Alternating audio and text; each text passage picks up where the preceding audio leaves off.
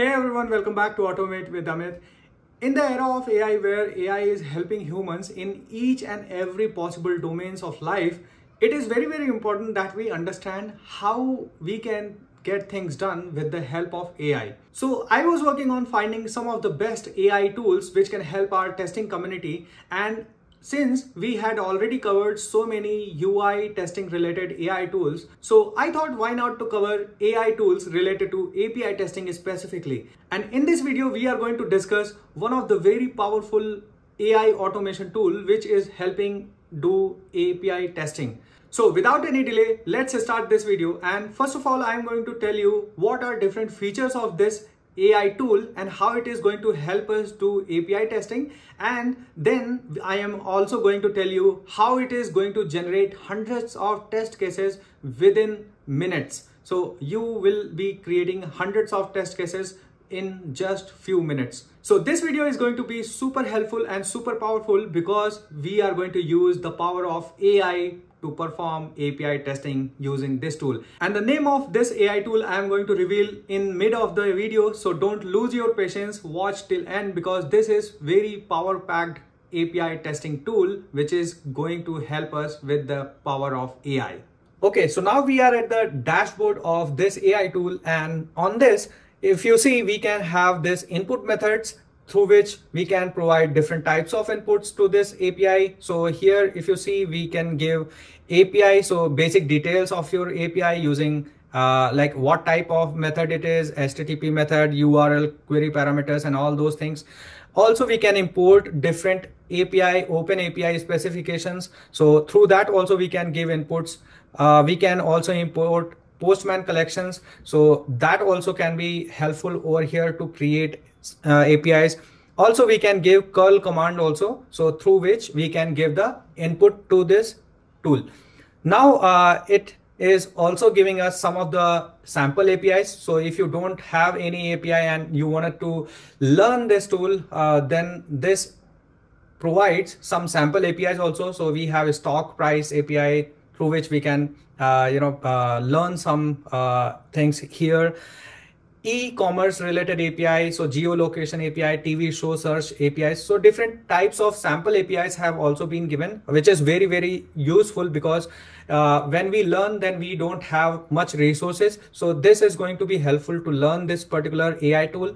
So if you wanted to learn this, then this is definitely going to help you.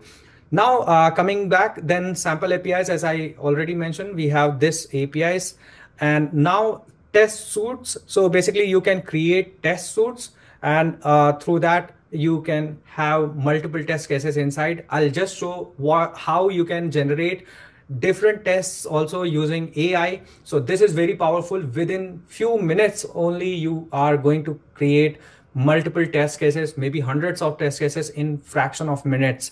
So uh, this is very fast because that's the power of AI, right? So in here, uh, this is how you can generate test suits, uh, which is going to help you write multiple test cases, generate uh, them instead, run them. So, okay, so this is going to help you over there. Now groups also you can combine test suits. So if you have created different test suits based on different, you know, uh, put patch, uh, get post re uh, requests, then you can group those test suits also through that uh, it is going to helpful workspace also you can create because if you are working for um, you know in your team basically there are multiple team members then it is always good to you know uh, separate things out whenever it is required. So uh, you can create workspaces environments also because we are testing we are going to test on multiple environments. So this is also uh, definitely going to help us to uh, you know uh, do testing on multiple environments. So you can create multiple environments as well. Generation status so real-time updates with Kusho AI generates tests for your APIs. So through that also you can get the generation status. What is the real time update? How it is generating your test cases. You can get that. Also all the documentations and guides also have been provided so that we can learn it properly also while, you know, if we are using any particular API or AI uh, tool, then it is always good to have documentations also. So I'll just show you how we are going to generate so many test cases in a fraction of seconds. So if you wanted to generate test suits or test cases related to one of the API, so we are going to go on uh, test suits. Over here, you can click on create. So basically, if um, you have some uh, input methods already ready for you, then you can use out of these input methods. But if you don't have any, then you can try uh, the sample APIs. So right now I'm going to use this stock prices related API. So once I click that, you see it has automatically generated some of the uh, URLs and some of the whatever related to the uh, you know test generation and that particular API uh, related uh, information was there. It has already generated. You have got this endpoint url what type of http method uh, basically you are uh, going to write test for. Also headers. In here you see it has already generated headers. If you have any other thing you can provide in here also. It has also some path parameters query parameters and all of those things it has generated. You also have request body also. So whatever it could think of it could fetch off is already generated using ai so now if i just go in here you can change this uh, because we are using the um, sample apis so i am going to go on uh, post related uh, you know method. So i want to create tests related to post uh, method. So it has provided all the details, but if you have a, any specific details, you can create uh, test cases for that also.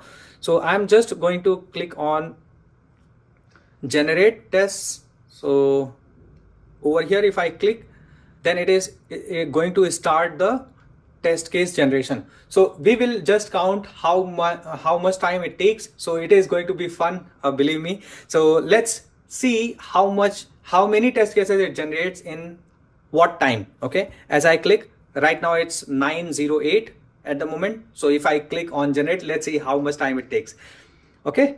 So i just clicked and it has started creating test cases. You will see how many number of test cases it has generated. All tests right now is zero. And as soon as you click on generate test cases Kusho AI's tests basically uh, starts to generate and AI engine of this particular AI tools starts to write test cases. So right now 60 test cases it is going to generate for that specific use case. Okay. We have written test cases for post, right? So let's see how much time it takes to generate test cases. Uh, 60 test cases basically. So right now out of 60, it has identified basically for that particular feature. So it has generated three test cases, four, five. So right now we uh, have just consumed only one minute. So let's see if it can generate 60 test cases in just one minute, less than one minute.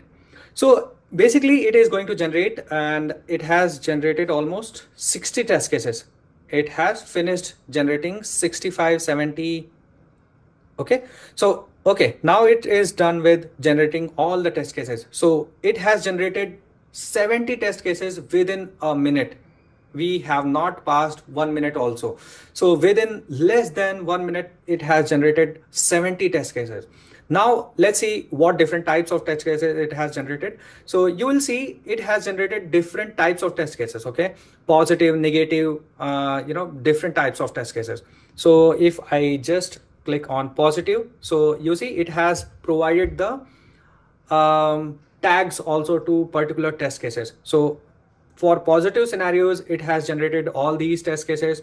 Let's see uh, for negative scenarios also, it must have generated some of the uh, test cases. See for negative uh, scenarios, it has generated so many test cases, right? So negative test cases, negative test cases, invalid values. So test with a very long string for query params dot function field okay? So like that it has generated for different different types of test cases uh, basically based on different scenarios.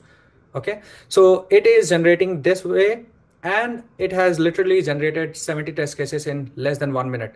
So this way basically you can go and check the details also. And in here if you see it has generated all these test cases and you by clicking on uh, this button run button it is it is going to you know uh, put the status code like uh, what is the status code? Right now it is getting 405 so you can put response also you can see response also what response actually it is giving.